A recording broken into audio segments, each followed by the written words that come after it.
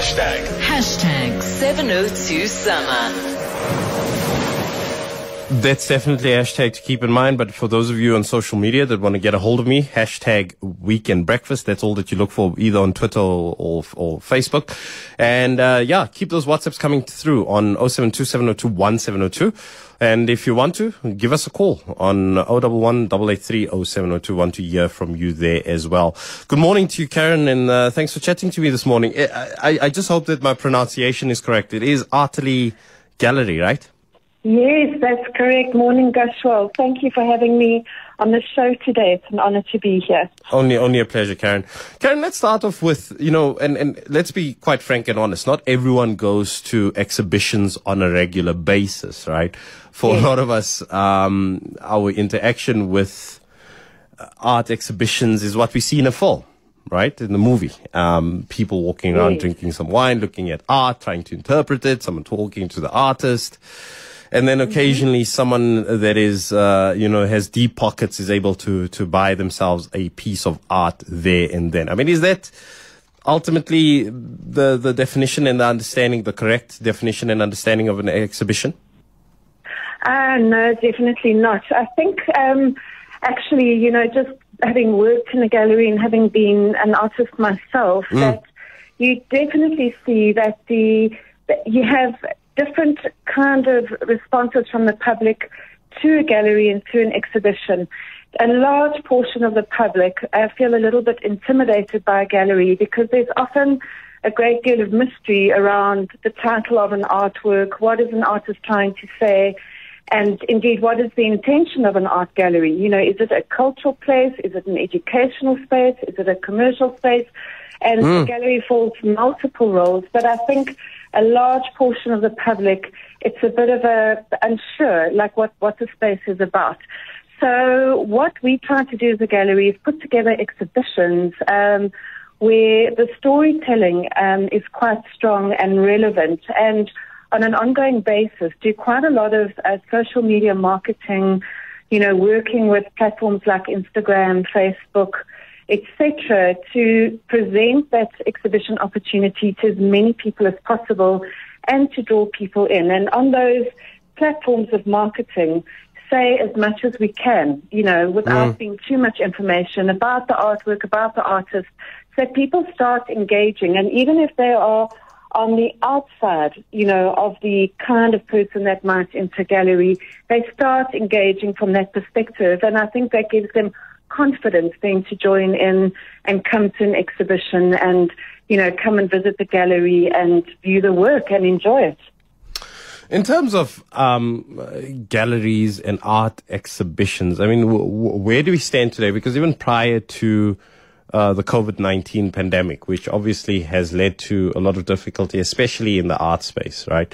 Um, I, I, guess it's easy for us to turn to 2020 and to say that, look, because of the pandemic. We've seen massive changes and there's been a decline in this space and that space. Uh, but as I said, you know, a good fri- a friend of mine had a, a, gallery for, for many years, and way before we even thought of COVID nineteen ever being a thing, um, yes. they were they were forced to shut down because after a while, you know, uh, fewer and fewer uh, people were coming through. I mean, what is the status now at this stage, and do we see an uptick? Do we see, uh, you, you know, the space actually being under threat? Um, well, I think COVID 19 um, obviously brought everything forward, uh, they say roughly about 10 years. Mm. And I think when we started uh, researching our gallery model, which was in 2018, we realized the future of marketing and exposure for galleries was going to be online. And so at that point, we already started developing our gallery so that it would be online. Um, and in fact, we opened three days before lockdown our physical space, but because we had developed the online model, it was appropriate for the moment, and we were just extremely lucky with the timing um, that it happened in, in that way, that we continued and in fact started the gallery online. So I think, you know, there are a lot of galleries that are hesitant online. You'll notice that some galleries on, do, do not put uh, pricing transparency online. Um, some galleries do put pricing transparency online, but they do not sell online. And other galleries will put pricing online and sell online. So every gallery has their uh, specific approach to how they want to interact with those platforms and how Sure. they utilize this to maximize the opportunity. So I think now it's become the norm. You know, it's that omni-channel marketing, you know, working through different channels to um, bring the artwork to the public is more normal now than it was uh, before 2020. Mm, mm. Uh, so I guess also another space that, uh, for you know all intents and purposes, and as you had highlighted, um, I guess the pandemic did bring us ten years forward. Um, You know, dragged us uh, ten years forward, um, willingly or unwillingly. But the point ultimately is this: is that you know, gone is sort of the traditional way of doing things where it is out there physically looking at works of art and, and, and being ab- able to interact um, to largely people being able to obviously enjoy this and, and participate uh, in an online space. Um, If you don't mind, I see that I have a call from Paul in Melville very quickly. I just want to hear what uh, Paul's uh, input is on this conversation. Paul, good morning to you. Hi.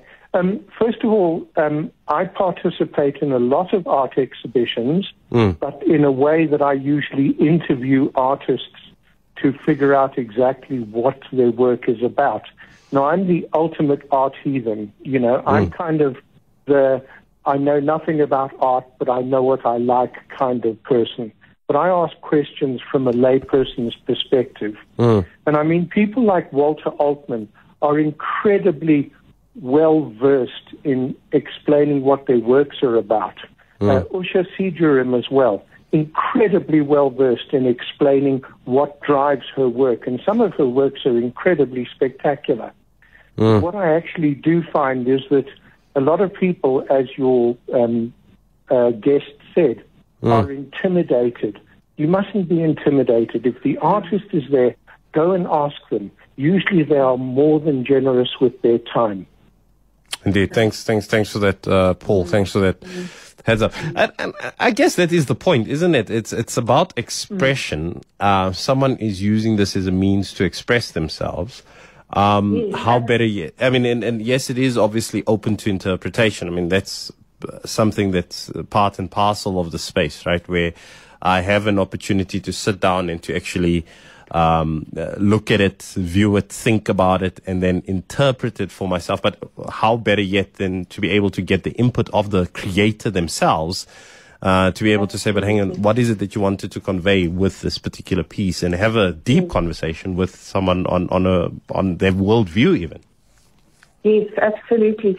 I mean, just just on that prior topic of you know working with online platforms, because today as well, artists will be putting themselves out there. They are on all of those platforms, and that I think gives the public a wonderful opportunity to directly engage. And I think, um, and and that also takes away that that kind of intimidation of a of a gallery space. I also think artists happen to be the nicest people you can meet. They are not intimidating.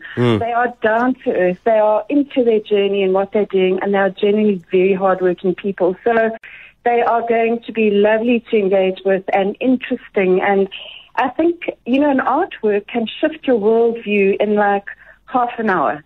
You know, whereas you might read books and books and books on, uh, on a topic and still not be convinced, but an artwork might do that in a very, very quick way. And I think that's part of the beauty of having a gallery space where you can put the work up and people can come and sit and just allow that piece to wash over them and allow them to, to engage with it and to develop their own narrative. Because I think there's, you know, two sides to that artwork. There is what the artist is bringing forward, and then there is the interpretation. So people will often like look at a piece of work and go, you know, I just relate to that, you know, and I really, really get that. And somebody else will sit there and kind of not be sure, and then that's when you know the opportunity to engage directly with an artist or with a gallerist to explain and inform what that work is about. Sure. You know that that, that becomes a double-sided opportunity.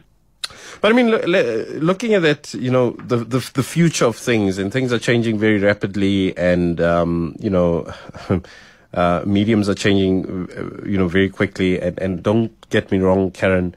I'm looking at the world of art. Um, excuse me, and I'm pretty much that person as well, similar to what Paul had said. I know what I like.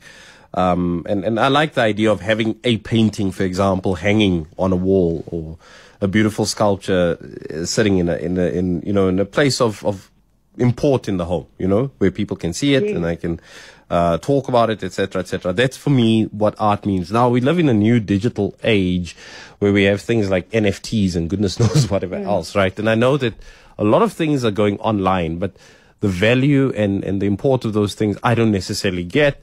Are we moving more towards a world that's that's really digital, where uh, pretty soon we're not going to see things like the physical exhibition at all? Because I, I can understand sort of a hybrid model where um, yeah. my you know my art is sitting on you know on a website somewhere and people can interact with it there, but also at the very same time, you can actually come out and view the painting, speak to the artist, engage on that level. But it seems that we're really more and more moving towards this world that is very much digital in nature and even art or, or our interpretation and understanding of art is becoming so digital in nature that you have this phenomenon like NFTs and whatever else comes with it. Yeah, look, it's definitely, definitely there. And I think it's appropriate. You, you, know, in a way, you can think of it like this technology, like artists who are creating develop, uh, with technology, working with a digital platform. It's a medium. It's like you work with painting, you work with sculpture, you work with ceramics, oh, and you work digitally. So it becomes another medium for an artist to work with. But I don't necessarily, from my perspective, uh, and I'm sure there are people who will disagree with me, but I don't necessarily think it's going to dominate. I think the way an artist creates, you are working with your hands. It's something that comes out of your being. And, you know, there's, actually just think about making a painting or making a drawing. There's a certain kind of pressure you put on a pencil or paintbrush, which mm. will create a certain kind of mark. And I know digitally there are a lot of things that can imitate that, but they can never truly be that. And there's like that, that essence that comes out of an artist that is then sort of you know, grows into that canvas as they develop the work, and that's unique to that piece. So, uh, for me, I see it as another another medium mm. and another way to interact with art, but I don't think it's that dominant. Um, and I certainly, for me, I want to see artists continue to actively, physically be engaged with the work that they're making and what they're making. Yeah, no, definitely, and I mean, it's uh, you know to that point, uh, you know, I've uh, I'm very lucky to have many other cartoonists as, as, as part of my circle of friends, and you know, the the development of uh, one of the big debates and discussions is around what they call AI art, which I guess is also mm. open to interpretation, where you sort of feed information into a machine and then out mm. comes art, inverted commas, on the other side. Um, it, it, does raise questions around that. And I mean, a lot of that, what you have described there about um, ex- human expressionism, because that's what it is ultimately, right? It's you as a human being being able to express yourself through very means, yeah. uh, various means of, of medium. Yeah. I mean, that's, that's, completely being taken away. Com- you know, we're being completely robbed of that opportunity through these means. And it, I'm, I'm not against the development of technology and moving ahead with technology, but I think we also need to sort of draw the line between human expressionism and, and just outright uh, yeah. a, a series of zeros and ones. I am completely on the same page as you. Um, I, I absolutely feel that you know, you speak to any artist, what is an intrinsic thing why they're making art? It makes them happy, you know, and it's because of that physical engagement with the piece, because they're having an opportunity to share their story or their thoughts. Mm. It's a, it's a relationship and engagement an artwork has with that piece, and that's the, you know, the drive for an artwork to keep create, an artist to keep creating. It's the fact that they love it, that there's some kind of magical juice in it for them as a person. And um, so, that, so for me, that is what's different to AI. You know, and I think there are mm. some very interesting things people are doing with AI, um, but I'm far more on the um, on the side of engaging with the artwork, creating with your person, with your hands, with your body, with your mind, with your soul, with your spirit. You bring it all to that. Mm. Um, and that creates something beautiful. I don't want to go too meta with you on this um, issue, but but you know, I, I, I guess one of the things is that we, we're living in a world increasingly where there's sort of a, a pushback against inverted commas elitism, right?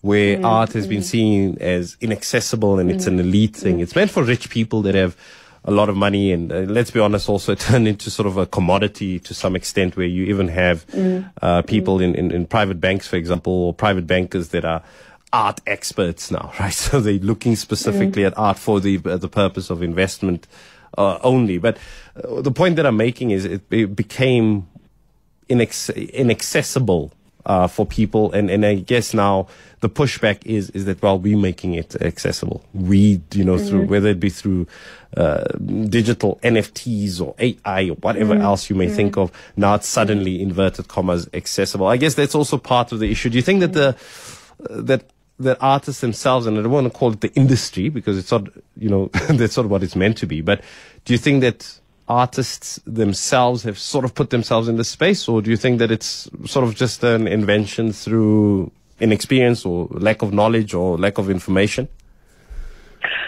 Um, I think, you know, so just to go back on one point that you made there, mm. um, with um, accessibility to, to artwork, I think technology in that space really does aid accessibility. And you're going to see a lot of artists um, at the moment, they'll make an original piece and then they will make 10 or 12 limited edition prints of that piece, which will sell at a far reduced price. And that will give um, new collectors or new art enthusiasts who have limited budgets to buy a beautiful piece of art mm. with the story. And that ultimately makes that original piece more valuable. So it's a very, very interesting dynamic. You know, when art becomes a commodity, I have a slight pushback against that, but it is real. It, it is there, and it's part of the the kind of way it, it works in a business space. I mean, we, we see, for example, one of our artists, Andrew Ntshabele, who is um, I've known him for many, many years, mm. you know, selling beautifully in South Africa and then moving onto the global stage. Then your gallery, say for example in France, will say, okay, that price is too low for us. We need to increase it. And because art is a global price, your local price increases as well. And that's where we start to see um, artists' work, their prices start to increase enormously. And I think part of the um, the skill of running a gallery maybe is to have that kind of in a sense of what which artist is going to do that because then you can advise your public. This is going at a very good rate now, but down the line you won't be able to purchase that at that price. And um, yeah, it, it, it's just in, very, very interesting. But I have a slight pushback against art being a commodity because artists are people being gifted with talent, and that mm. should always be honored. It should never be taken advantage of. And I think the other thing that happens is when artwork becomes an investment mm. and resells for enormous prices, the artist is not benefiting from that. So there's a kind of a disconnect yes, yeah. um, for the artist in that space as well. I mean, a massive global debate. Um, I think, you know, around some of the Van Gogh paintings, you know, uh, didn't see a cent while he was alive, and now the man is dead. Mm. You know, um, yeah uh, to to some extent uh, extent long forgotten, and lo and behold, now uh, owning yeah. a Van Gogh is uh, worth uh, not a small fortune, a massive fortune actually. Yeah. Um, yeah. Which, which is quite tragic. But I mean, taking that into account and what you had just said there, obviously people need to be able to make a living. Um, artists in particular, yeah. those that sell their art, yeah. need to make a living. I mean, what does the landscape look like now within South Africa in particular? I mean, is it, uh, you know, uh, do we do we see improved conditions and circumstances for people, or is it still pretty tough, or is it getting worse? Are we seeing a decline in people pitching up at, at, at, at exhibitions, buying art, uh, even engaging? I think that um, African art, contemporary African art, is very much on the rise. It's a, it's um, becoming more popular globally. Mm. Um, and I think it's also because the, the buyer has changed. So, so there's, there's a, there's a, there's definitely a change and I see a strong, um, love and passion for contemporary African art. You know, where our gallery is based, um, which is mm. in Nelson Mandela Square in Sandton, we obviously have a um, grouping of people come through that are international um, collectors and also international just fans and people coming through the space. And the love and the engagement and appreciation of the kind of artwork that is coming out of Africa right now mm. is absolutely there and it is recognized. And I think that's wonderful. I mean, I love, I love seeing it. I love seeing our That's artists sell. I love, mm. I love knowing they're making a good living. You know. I mean, on that basis, that's that's exciting news. I, I do wonder at times, though, is it is it something that's sustainable? And what I mean by it is it a fad, you know, um, for lack of a better term. Uh, where there's a global interest in, in, in, in, in African art, uh, African expressionism, um, and that we're going to go back to people that come through and, and really want to, that truly appreciate it and they're the ones that purchase the art? Or is it just something that's fashionable at the moment? Because that in itself could be a bit of a threat, isn't it? Where we only, we're only getting it or we're only seeing an interest because of lo and behold, um, it, it's sort of the thing to own for the moment. I think all of that is real. I, I think there are fashions. I think there mm. are trends. And then I think you know, very often when you when when you try and identify a art movement, it's often in retrospect. You know, to say, wow, there was this like like you know, currently there's been a lot of contemporary African portraiture, you know, moving moving through our galleries, moving through the artist studios, and an interest and a passion in in African portraiture, and um, that speaks to a deeper shift of identity. So I think mm. very often, you know, when you look back at something, you start to see this was not a trend. This is bigger. This is a shift in society. This is a shift in the way that we are seeing or seeing something or thinking about something. And I think so. I think there's a retro, you know reflective looking back at art, mm. um, and I think artists are often looking to the future. You know, so you have this kind of uh, tide, you know, of people looking forward and people looking backwards, and the um, the collector somewhere in the middle of that. But um, I, I, think all of that's real. I think you will definitely find work that's just fashionable, and mm. then that will go out of fashion. You know, so I think that's also something there for the um, for the galleries to really be looking at and to be pushing their artists a little bit. You know, mm. so when an artist gets stuck on just reproducing something that's too similar to what they produced for the last show, you know, to get behind them and help them push a little bit further. In fact, um, our gallery has, we have a next level coach on board with us, which is Karen Basil. She's a lecturer at UJ, mm. and she works with our artists to get them to push, push, push to the next level, you know, to keep moving forward so that we don't get stuck into something that's just fashionable which is very important. Look, I mean, either way, the, the future is exciting. Um, we'll keep a close eye on it. And thanks to people like yourself, Karen, that make sure that uh, that art remains relevant, stays up to date, but that the true essence doesn't get lost in the process. All the best to you. Oh, wonderful. Thank you for the time. Only a pleasure. Thank, Thank you so much. That was Karen Cullinan, director at Artel, uh, Artyli Gallery. Fascinating conversation.